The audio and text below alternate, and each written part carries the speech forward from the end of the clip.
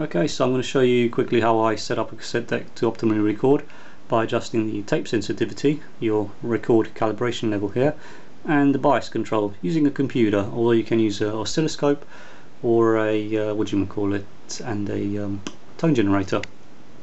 Uh, ideally, you want to start off by cleaning the tape head and the tape path and all the little metal bits um, using IPA, isopropylene alcohol um, just using a cotton bud and then demagnetizing the head. Either one of one of these um, tape things or you can buy a separate handheld device that you do all the metal bits on. It's probably better doing that way.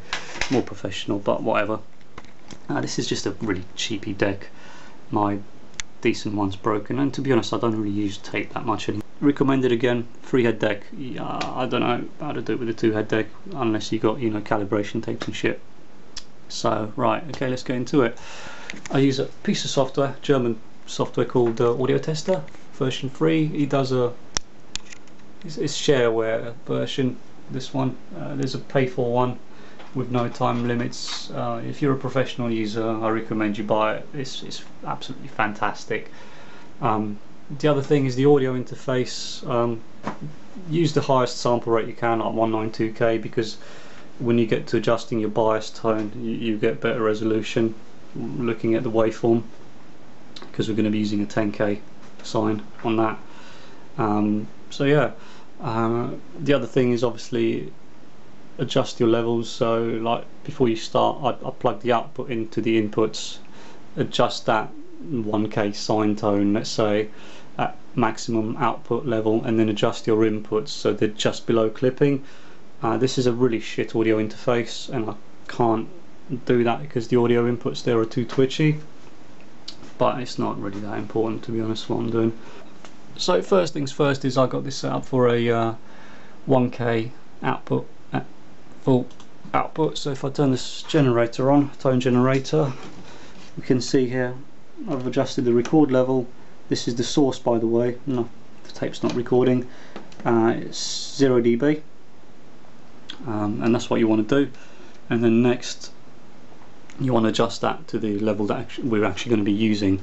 Uh, on a cassette deck it's not like a reel-to-reel -reel deck and uh, we need to use it minus 20 dB because the tape will saturate. Um, all the specifications you have on tape decks that you see like your frequency response for example I've done at minus 20 dBs. Um, so uh, that's something I didn't know when I was younger and I'd be using these really hot tones and thinking they're broken but even if you look when you buy tapes for example this cheapy Philips one you can see the specs giving it minus 20 dB and 0 dB massive roll off there in the highs. Uh, we're using a TDK SA90 chrome tape um, and first thing we were going to set is the level your tape sensitivity level and I've already done this but I'll show you anyway. And we use a 400 Hertz I'm using this on-screen keyboard because my keyboard's run out of batteries and I don't have any AAA's. So 400 Hz at minus 20 dB sine wave. Okie dokie. Tone generator on, oscilloscope on. Uh, set the time base. Right, so that is two channels down there you can't see. They're overlapping I've done that so I could see any differences in left and right channels easier. So right's red and blue's left. Um, so that's the source essentially coming out of the tape deck.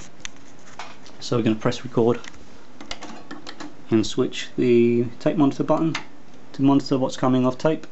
And then we'll adjust the level knob here until it matches the source. So that's simple.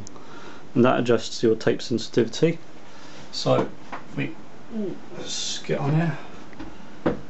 So that's the source and that's what's coming off tape. If you look really carefully you can see it's not perfect sine, that's just noise that's your tape hiss. But if you can see that's so that's the tape and that's the source that's the tape that's the source. The levels are pretty pretty well matched. Um, if I was to stick in another tape now that's the total totally different um, formulation although it's still a chrome tape. This is a BASF chrome tape type 2 that's a type 2 chrome tape as well but it's a TDK so we'll see. I'll show you. So here we are. Um, source. So that's your source coming from the tone generator if you will the computer. And this is what's coming off tape now. You can see there's a drop off so every tape type is different your TDK is different from your BASF and your Sony tapes for example. So what we would do then is adjust this level knob until it matches that source. So let me stick my SA90 back in there because that's the that's the tape that's the, most of the tapes I got are these SA90s and I got Ferrex for the car cheapies. Um, fucking I sound like a right hipster don't I um, so yeah back on that. Back to that. Let's just switch the source for the moment. Um, so once we've done setting the levels we want to set the high frequency response on it and that's using uh, 100 so 100 uh, 10k um, test tone so we got a 10k sine wave. That is the source right there. And I'm going to switch it to tape and you can see it's wobbling a little bit. It's a cheap deck and we got some left and right discrepancies. Again that's just your tape azimuth probably.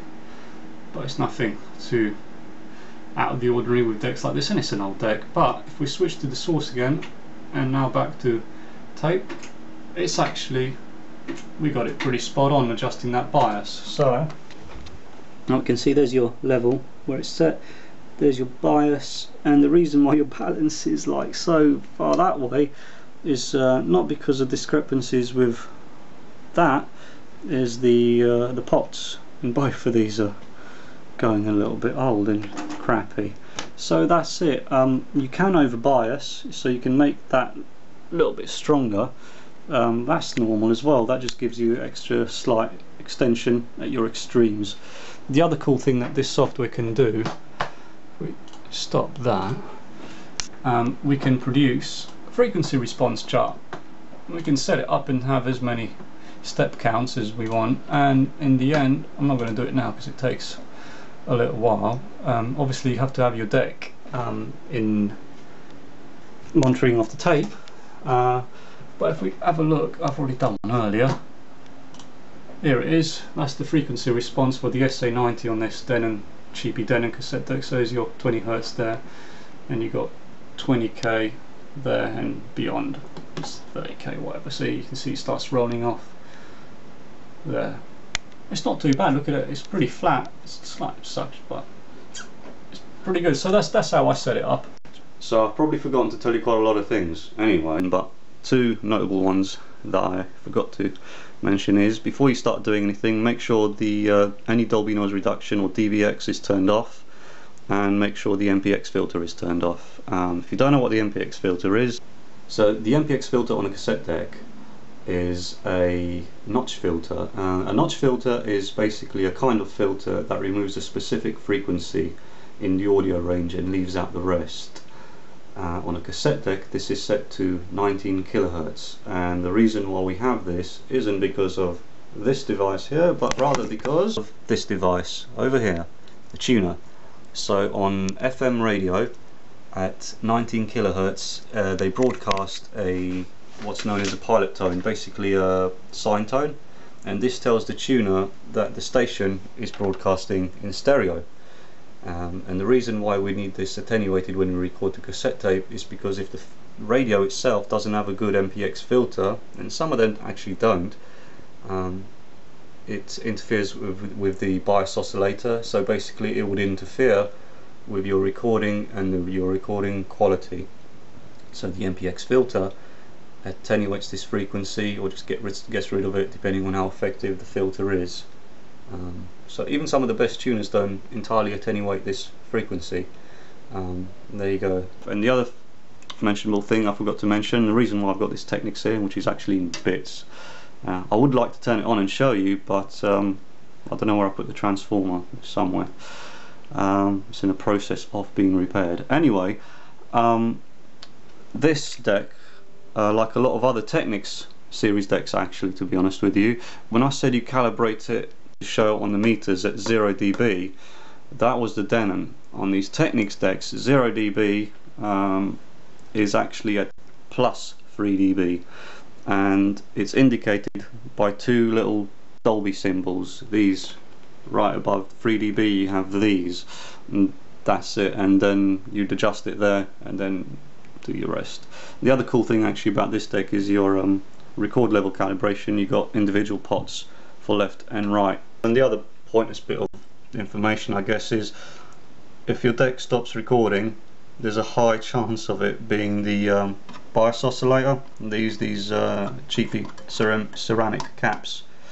Um, and a lot of the times these tend to go especially now that these uh, decks are getting old. So you need to replace these and it should be fixed. Um, the only thing is finding quality ones because they work at very high frequencies and usually driving this inductor or something. So yeah that's it